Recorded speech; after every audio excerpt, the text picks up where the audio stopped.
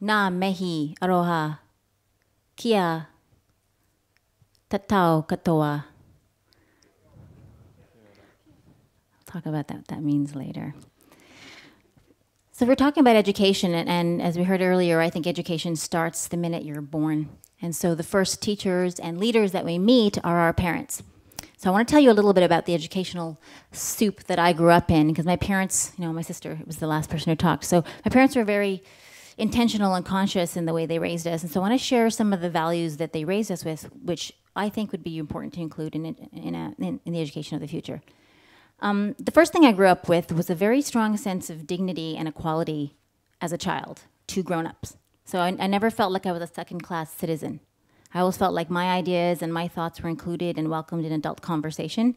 And, um, you know, even just sitting at the dinner table, there, we were always in, given grown up forks. And whenever friends came over, we were invited to bring our opinions to the situation. So I always felt like what I had to say was fascinating and interesting to my parents, which made me think I'm inherently fascinating and interesting, which has good and bad points. Um, another thing I learned when I was growing up was that um, my parents kept telling me, you know, whatever you read in school in the books, they may be true, like it's the latest state of the art, what we think is true, but what you think in your mind might actually be more true. So it was really interesting growing up when I would go to school and read books, and if I had a thought or an idea that was different than what was in the book, I would trust that, you know, maybe I had a better idea, which gave me a strong, independent sense of um, valuing my own opinion and my ideas and my thoughts to being just as valuable as the, the grown ups or the authority figures that wrote the books. Um, another thing I grew up with a constant cultivation of was curiosity and imagination. So in our house, we, my father and my family worshipped curiosity. It was, it was kind of, I, I, I grew up sensing that my curiosity was my link to the divine. It was how God spoke through me. And so any questions that were brought into the space were heralded as like this sort of sacred opportunity for information to be exchanged. And um, in my entire life, my curiosity has seemed to take me into all the places that I've most um, loved and enjoyed. And so just making sure we honor the curiosity of the child, which you know a lot of us already do, but institutionalizing that in the education system, I think, would be really important. Now, imagination. Um, my father was quite theatrical and um, loved you know high energy situations, so he he really encouraged our imagination in very specific ways. I'll give you a couple. Uh, I grew up in a house where you were welcome to and encouraged to draw on the walls with crayon, with marker, with whatever you had. Why? Because you could always paint the walls but you couldn't get back that window of learning that the child would have as they expressed their creativity and imagination. And so, you know, that extended to all other parts of our life, but just an example of writing on the walls was valued instead of discouraged. And um, another way imagination was really, was really encouraged in our house was um, just like in road trips. Now I'm one of four kids, so I'm the eldest of four kids, and so in a road trip there'd be like six of us in the car. And a typical activity in our family would be my dad would open his mouth and start making some strange sound, like waha, waha. And then he would say, This is the sound of this particular animal, which he would invent from scratch. And he would have to, everyone in the car would have to make a sound that didn't exist in the world and then create a species that went with it. So that's just like constant opportunities to do improv and theater and use our imagination and creativity. Um, I think cultivated in us a sense of like imagination as sort of the the power source and the unifying force that connects us to other people. It's when you connect with someone else in their imagination space, I feel like you build a, a deep bond that lasts a long time. The last thing I'm going to talk about about my early childhood was in my home I didn't grow up with any religion. There was no monotheistic narrative. There was no sense of a god or a higher power. So my ideas of what was good and what was bad um, didn't seem to be connected to that. So the way they dealt with morality was they taught us to be very in tuned emotionally to other people and to really cultivate our sense of empathy. And so the way I ascertained whether an act or a statement would be good or bad was determining how beautiful I felt when I did it and how beautiful it left the world, the impact it made. So there is a strange aesthetic filter through which I passed all my behaviors to decide, you know, is this the right thing? Is this the, the best thing to do or say? Um, I mean, I'm not suggesting that we raise our kids without religion, but raising them with a sense of um, tuning into what they value and where they breach their own values so that their morality is not externally based but internally based, I think is an interesting shift um, that was had a very powerful influence on me. And because I had um, this sense of my value being contingent on how aligned I was with in my behavior with what I thought was important, it gave me this strong sense of esteem and constant assessment of whether I was being beautiful, whether I was acting in such a way that I admired myself. And ultimately, this is how I learned about love. I learned about love in terms of what would I what what did I do that made me love myself more? And then love didn't have to do with how someone else treated me or talked to me or affected me. It was how good I felt about how I was acting and being in the world. And so I think the education of the future is going to have to prioritize what I think is the most important soft skill we have, which is love. And if I'm honest, I think in order to save the world, we have to fall in love. We have to become masters at loving First ourselves and our lives, then those around us, and then the world at large. And in that order. Because I really think to the extent to which you can, to the extent to which there's parts of yourselves that are unloved, that are marginalized and unintegrated, and are left in the shameful, dark shadows of our psyche, to the extent that you don't love yourself is to the extent that you can love the rest of the world out there. So it really starts here, the education. I think the root of education is teaching a child an ongoing system for them to fall more in love with themselves and their life.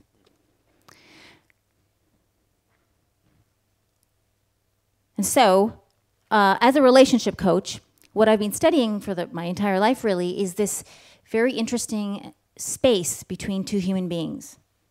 This um, ephemeral, uh, fragile, and sacred space in which I think everything that matters happens and learning to map that space.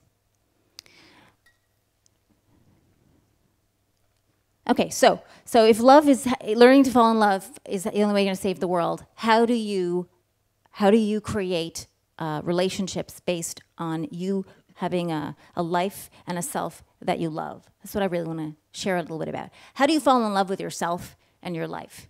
I know a lot of us are here already really good at this, so I'm just going to offer you some tips that I think refine the game and that I've, I've systematized in myself and that just seem to work when you make it a practice. Okay. All right, the first thing is you start with noticing where in your life you're already lovable. So instead of having to go do these things to be to earn love or to achieve love, you just look around your life where it currently is and start becoming a detective um, with a magnifying glass and be like, almost like an archaeologist uh, excavating from your everyday life tiny to big moments where you are acting in a way that you admire, where you're acting with beauty, with courage, with valor. And um, the more microscopic the observations, the better. So it could be as simple as noticing that you got out of the way of someone as they were trying to move across a room, or that you left the door open behind you for the person coming in behind you. It, it could be um, walking down a country road at night and noticing the moon when no one was looking. It could be delighting in a dragonfly or um, enjoying the breeze on your neck. All those are moments of you noticing where you feel like you're being the person that you'd want to be.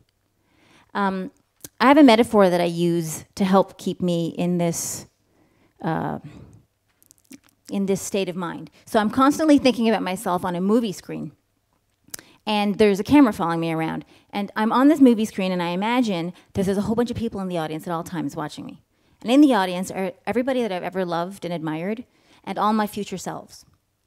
And what I'm asking myself in any moment of time, I'm about to act or speak, is is this thing I'm about to do going to have everyone in the audience clapping? Are they going to be clapping for this thing I'm about to do? And if the answer is no, then not to do it. And if the answer is yes, then triumphantly do it.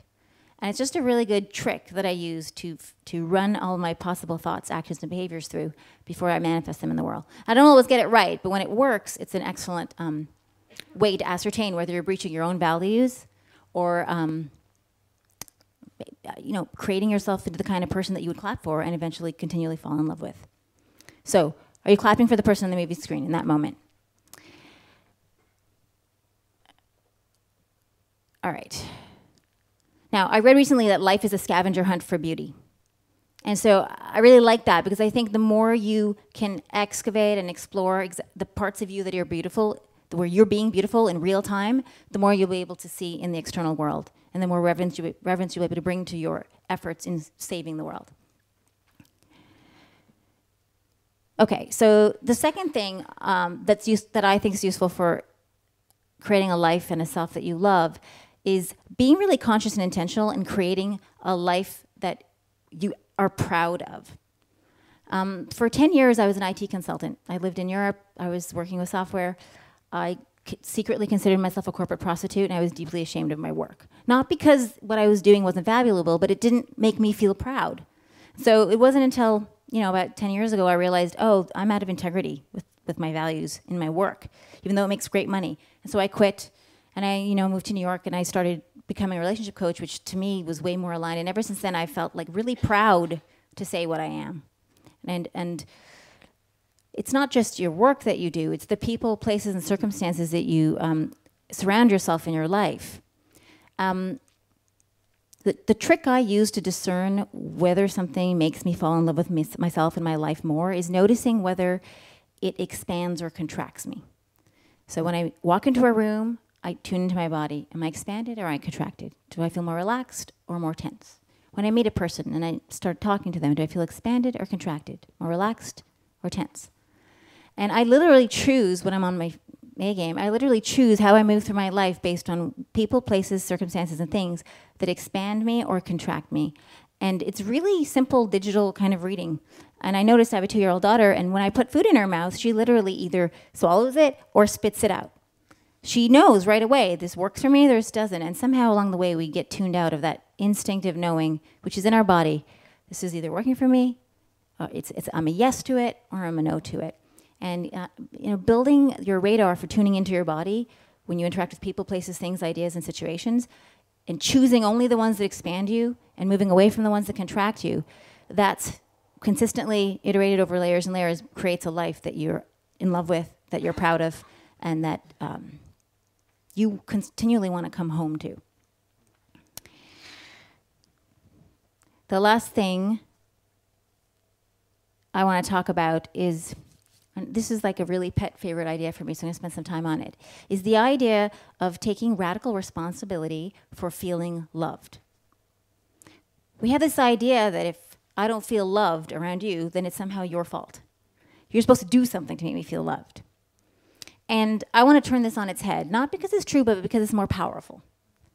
Um, what if your responsibility when you're in a, in a space or with another human is to use your wit, your intelligence, and your imagination and all your wherewithal to notice and observe how you are loved right now. And you can start with just inside your body. Um, well, let's just start with we live in a world where we're held at all times by the ground, by the spaces that we're in, by the shelter, by the food that we're eating. There's ways that reality is holding us and loving us that you could just notice.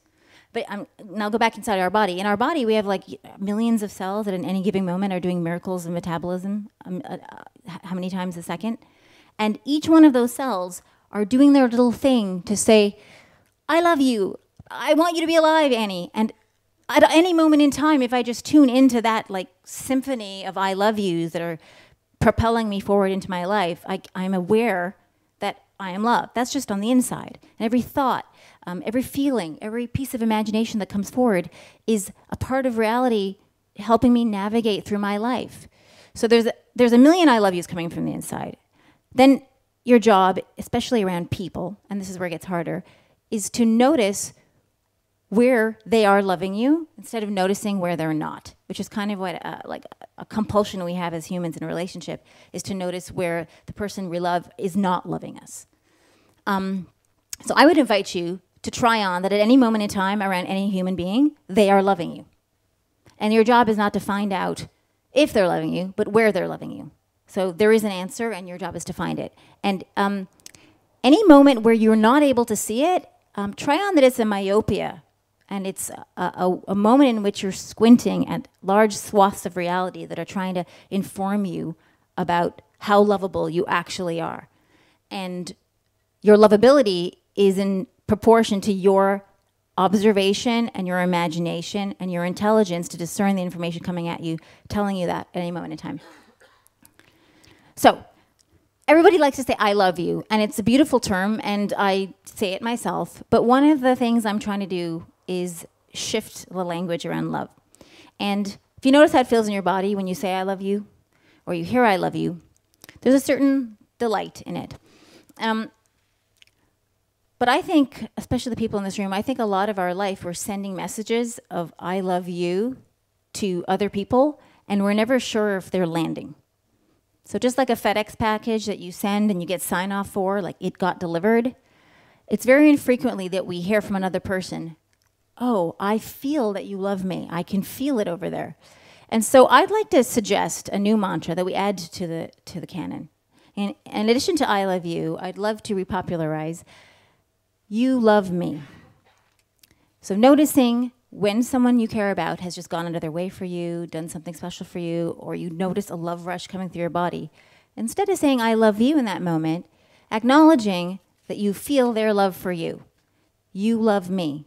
I don't even think I say I love you to my husband that much anymore. I just notice the moments where he's indisputably loving me, subtle or grandiose, and I comment, not in a kind of vain, braggish, oh, you love me kind of way, but like, you love me. I see you. You love me. And it feels palpably very different in your body to say it and for the other person, especially with parents, by the way. As a parent, the idea of having my child acknowledge that my love has landed over there is exquisite magic. And so, for all of us who have parents, telling our parents, and I love you, mom, I love you, dad, but oh, you love me, mom. I saw how you did this for me. I saw you went out of your way for me. I see that you love me. I think that's just a, a, a new phrase that I'd like to add into our space. So, you love me. And uh, you know the themes that have been emerging over the last week with the talks that have been um, all the, the, the, beautiful presentations and the ideas that have been in the space i see a motif running through them that it's, it's really about relationships developing deeper relationships and raising consciousness whether it's consciousness about how we use our land or interact with other people or how we relate to our food. And I see relationships plus consciousness equals love.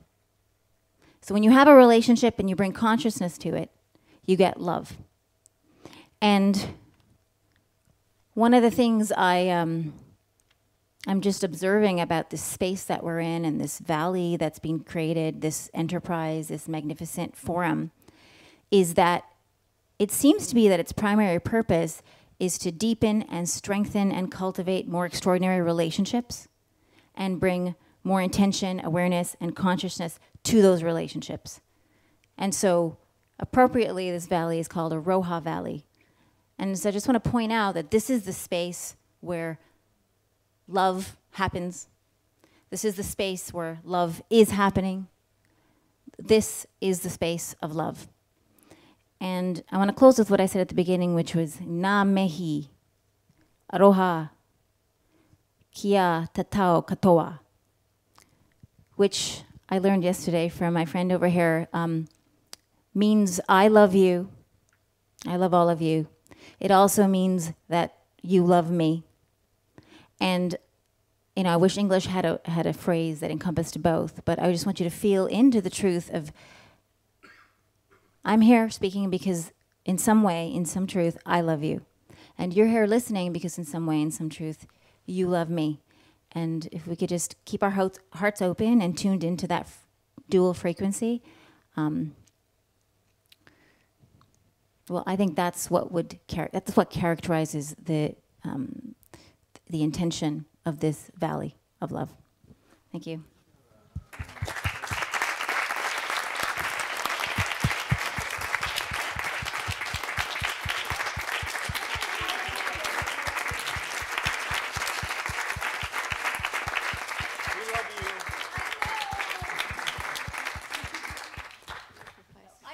talk about anything to do with relationships specific or anything like that. But so if there's any questions on that space, I'm happy to answer them, or about love in general.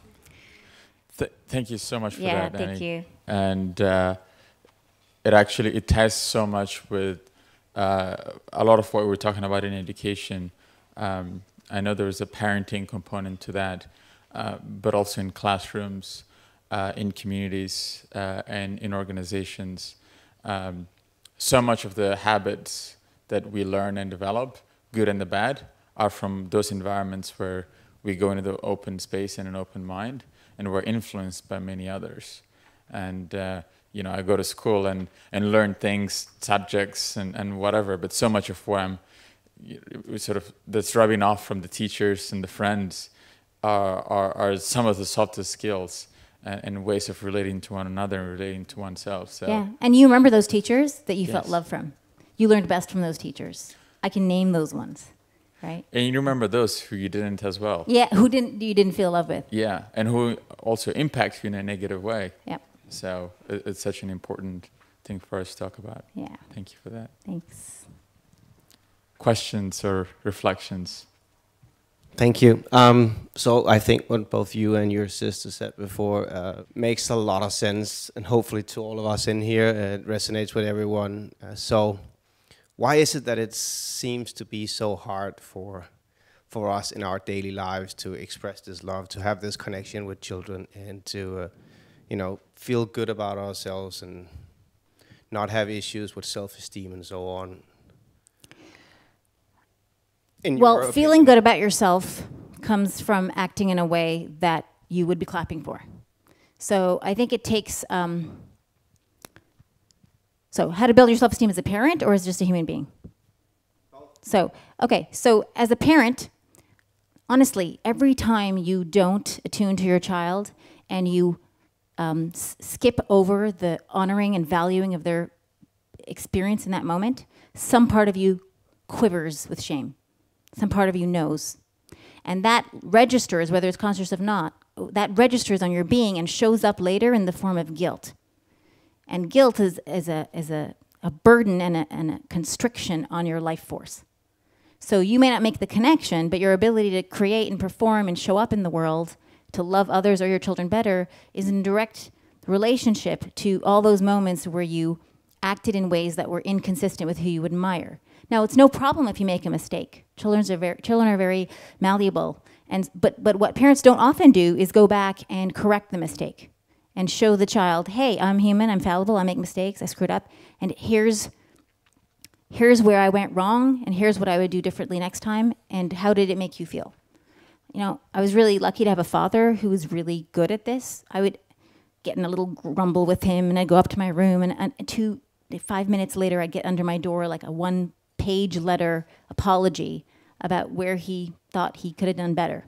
It took him a while to get there, but there, I, I, just grew up knowing that there was always a repair. And I've read somewhere that, well, I read in a very specific book, that um, when children are around conflict between the parents, where the conflict is resolved in front of the kids so that they see, oh, they get in fights, mom and daddy get in fights, there's a way to resolve conflict, and they're in love again after.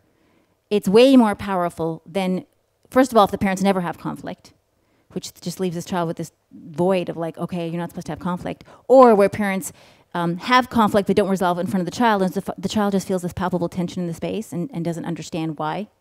So it's okay to screw up or to have a fight or to have a conflict, but then how you repair that and your intentionality, it's you can actually do a better job at parenting by fucking up and repairing it than doing it right the first time. So in terms of building esteem, I think a lot of our esteem is weighed down by shame and guilt that's hidden in the background. And that shame and guilt comes from doing things that are inconsistent with who we want to be on that movie screen and what would have our current, future selves clapping. So I don't know if I can be more specific if you give me a situation, but um, self esteem is about thinking that you can cope with future situations that you're put in front of. And the way you cultivate that is by noticing where you're fucking amazing currently that self-esteem starts with noticing where you're amazing currently.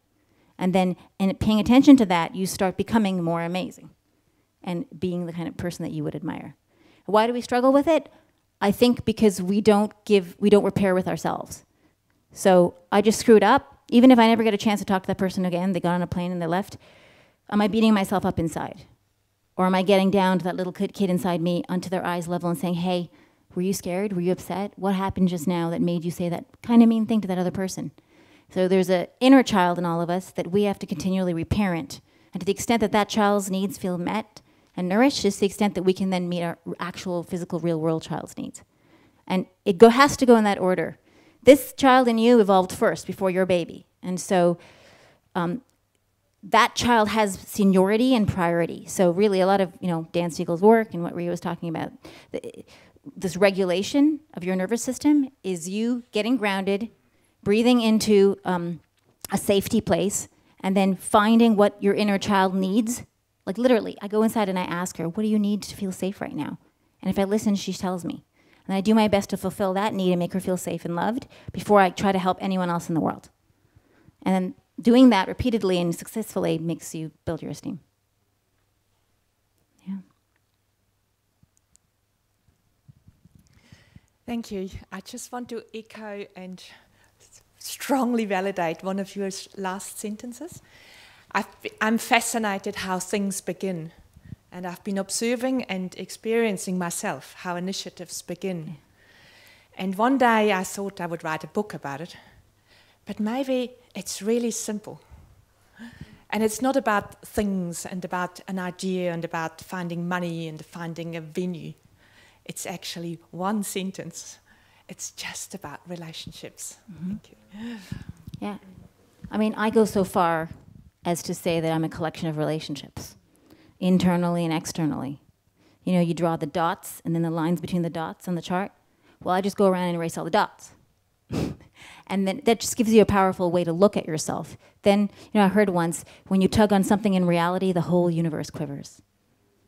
And uh, if you see yourself as a collection of relationships, nothing you do doesn't have an impact. And I, I think if we're raised with that awareness, which I think a lot of Native people have that in their blood, is there is no you unto yourself, and just understanding the impact ripples is part of your education as a human being. Last question.